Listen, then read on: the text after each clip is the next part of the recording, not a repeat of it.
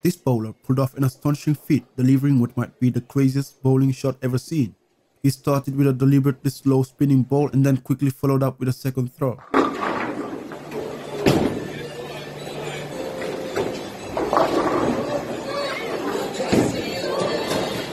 The result, two consecutive strikes in a single turn. A clear display of his professional skills. It's not just talent, this is bowling artistry at its finest.